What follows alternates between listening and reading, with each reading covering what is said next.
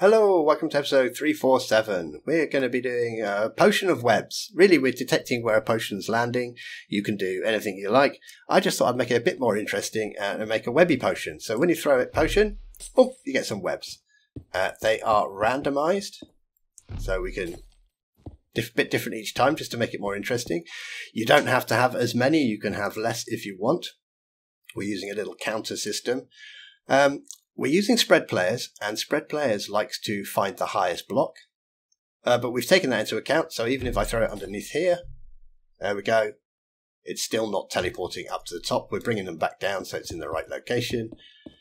Uh, that's it, really. We are running a command where a potion lands, and the command I'm choosing to run is slap down a few cobwebs, which would be quite fun in a battle. Running away, run, run, run. Hey, have a potion of webs. Pretty cool. Okay. I keep that intro short. No waffling today. Let's get on and make it now. Okay, right. First thing we're going to need is a potion to throw. So let's uh, stick a block down and give ourselves a potion. Give potion. Okay, now if we use a lingering potion, they create area effect clouds, and there we go. We can target. We can target the cloud nice and easy. So that's what we're going to be doing. We're going to give the nearest player a lingering potion. And I'm going to give it a name as well. Why not? Display.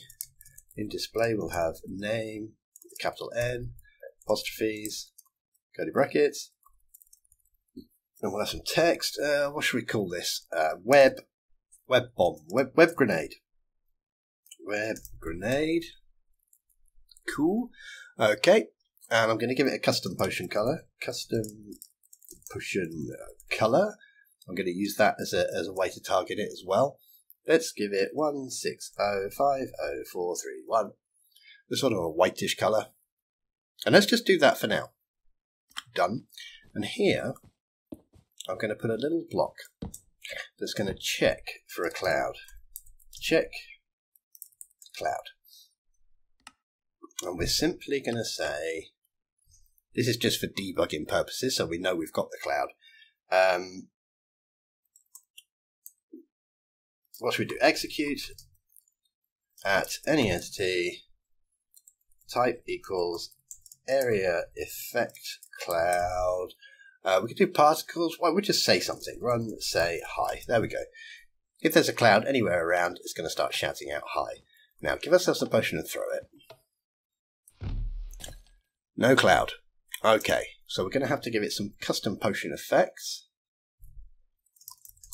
Custom potion effects, it's a list, so we'll have square brackets and we'll have one. Um, we're going to be killing this area effect cloud instantly anyway, so ID, we'll start at the beginning, one.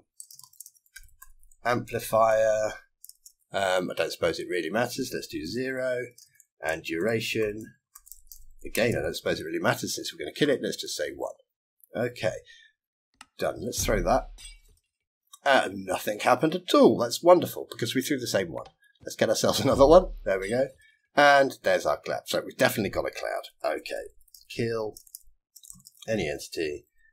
Type equals area effect cloud. Right, we don't need you anymore. We know this is creating a cloud. Let's get rid of those. Now we're going to want a controller. Okay. Boink. And we'll pop that down and we'll say controller. Now in the description I've got a few different controllers. This one will be under no link. Well actually this is going to be a test. This you'll see why shortly. Because we're going to have to make some changes to this. Okay, let's make it repeating. And we're just going to execute um, at any entity whose type equals area effect cloud. And NBT equals, and this is why we gave it a custom potion color, but we're just going to say color 1605041. And we will run. Well, let's just do set block for now as a test. Set block at those location. Uh, white wool. Are done. Now we're still going to have a cloud hanging around, so let's get rid of that cloud. Kill any entity type equals area effect cloud um, NBT equals color 1605041. Done. Did I just put something weird in there? I did, didn't I? There we go. Fingers just, I don't know what they're doing then. Okay, let's turn that on. Perfect. Cool. Okay. Let's copy this, control middle mouse, and put it over there. It's part of our reset, but we don't want to reset yet. So instead of just summoning a block, we could summon the cobweb, but then it's always going to be exactly where the potion lands. Let's make it a bit more interesting. So what we're going to do is instead, we're going to summon a marker. Cancel. Here. So instead of setting block, let's summon a marker at those coordinates. Uh, tags web. Let's see the whole command. There we go. Tags equals web. So we've got a marker. Done. And now let's randomize it a bit. Let's spread the marker. So we'll use spread players. We will execute as any entity type equals marker tag equals web run the spread players where you are uh, spread distance of at least one maximum range i don't know let's say two we don't have teams so false at s okay so that's going to place a marker down and then move it a little bit done and then what we'll do is we'll summon the, the cobweb at the marker. So execute. I think we can just do at. Well, better put entity. Type equals marker. Tag equals web. If block there is air. Uh, that seems okay. Run set block there to cobweb. Okay. Done. But now we're left with a marker and the area effect cloud. Well, we've got this block here which kills the area effect cloud. So let's control middle mouse, put that back on the end. And now let's kill that marker. Kill any entity whose type equals marker, whose tag equals web, done. So that should randomize it a little bit. Or a lot. What's it doing over there? I wouldn't expect it to be that far away. Okay. Oh, there it is. Okay, if we put some crazy numbers, let's have a look at our spread players command. Not that one. This one. Uh, one, two. Well, they don't seem too bad. Ah, okay. What we've done is we're executing as the marker, tag web, but not at the marker. So we're actually executing at this command block. Well, that's an easy fix. At S. There we go. So now as the marker, at the marker. Cool. So just a little bit more random now. There we go. Now, here's a problem we're going to have with this is Spread Players likes to look for the highest block. Now, there's no blocks above me, so Spread Players is putting it on the floor. If, on the other hand, let's just pillar up a bit, and we'll make ourselves a little platform up here. Okay, let's do it a bit of a quicker way. Let's um, use world edit. Set grey wool. Okay, so we've got a platform.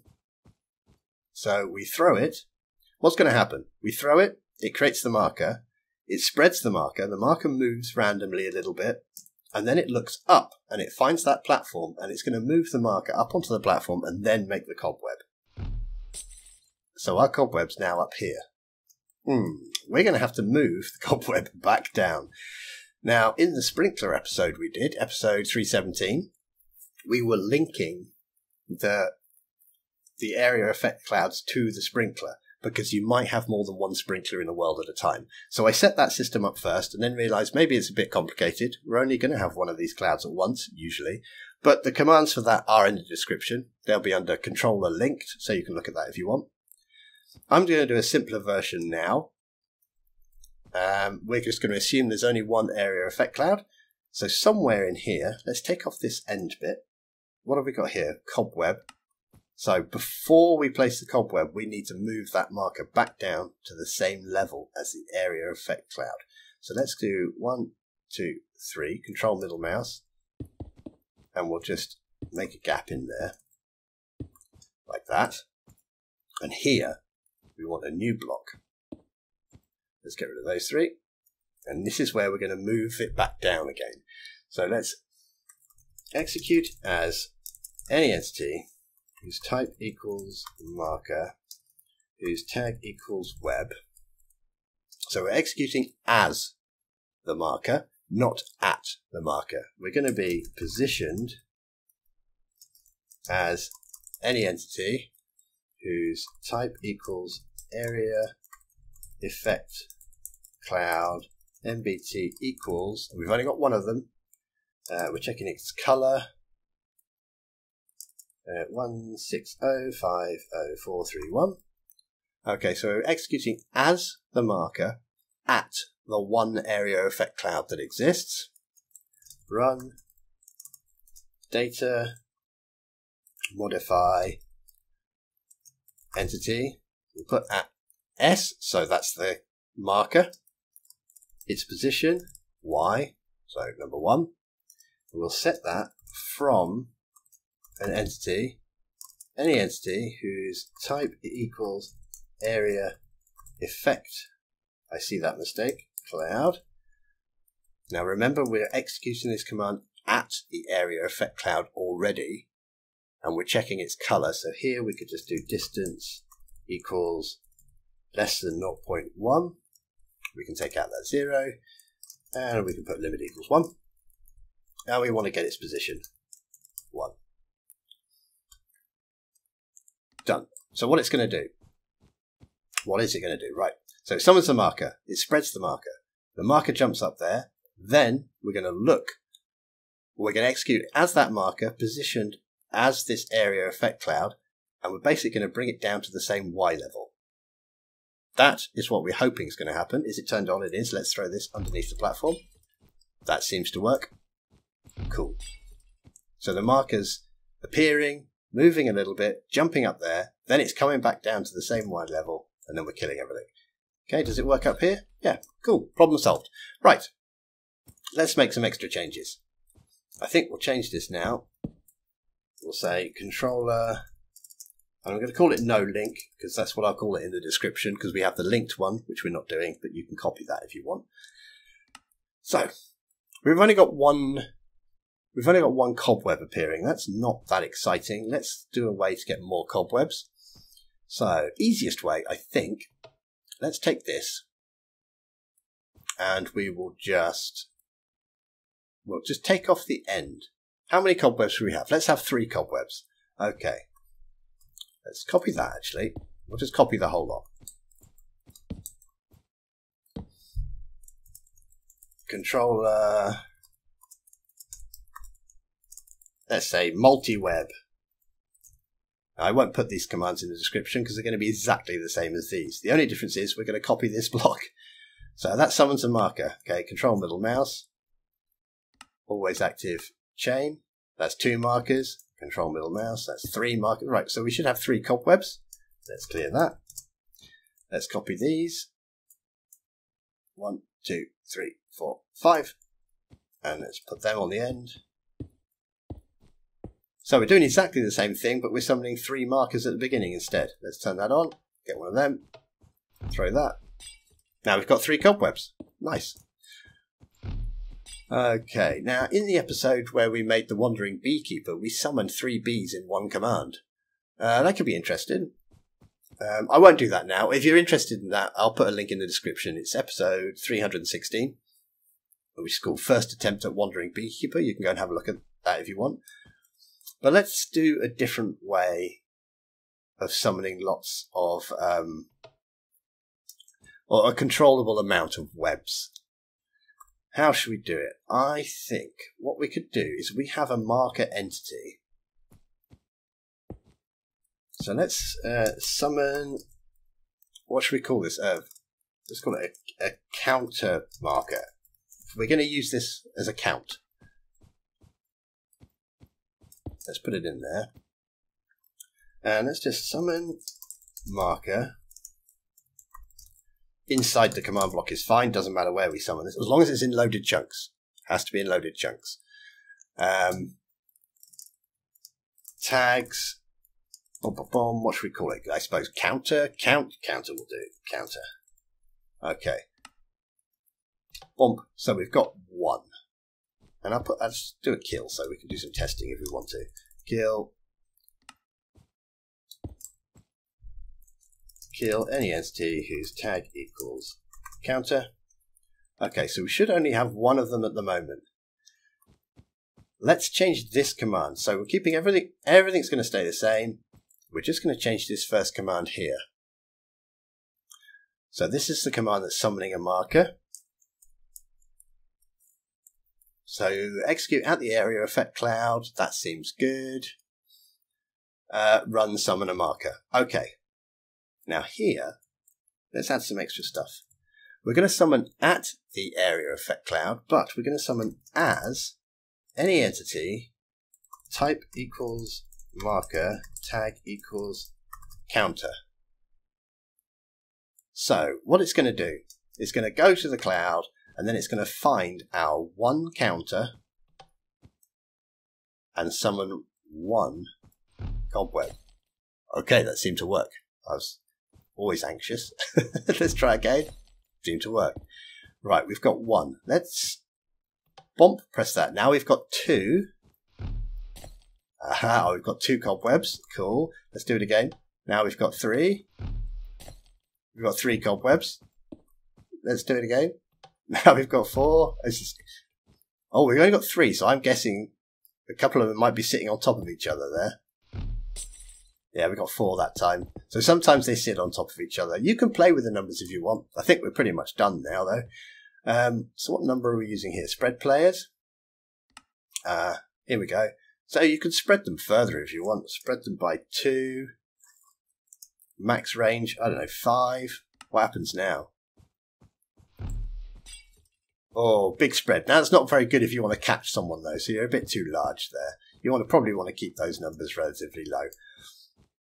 Anyway, there we go. We've been playing around. We've made a potion of webs. Um, you can throw your little. Oh, we got four. There we go. I think that I think that is too high. Let's drop that down. I think if we drop it down to zero, just spread them by two. Now I think you might have the overlap scenario here. Oh, we did get, yeah, that's a bit better though, isn't it? Let's do one, two, three. So now we've got seven of them. Okay, a lot of them on top of each other. Got five that time. I, I quite like that. It's quite nice to have a random amount. There we go. Cool. We have made a potion of webs um, and detecting where a potion lands, which was the easy bit since we're just looking for the area effect cloud that is created by our uh, our lingering potion.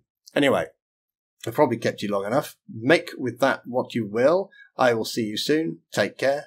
Bye bye.